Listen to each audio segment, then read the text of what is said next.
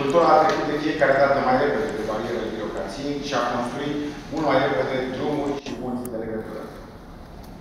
Îi felicit pe studenții care au ales Universitatea din Craiova și le spun să profite de libertatea pe care o dobândesc odată cu vârsta de 18 ani, dar să nu uite în niciun moment motivul pentru care se află aici.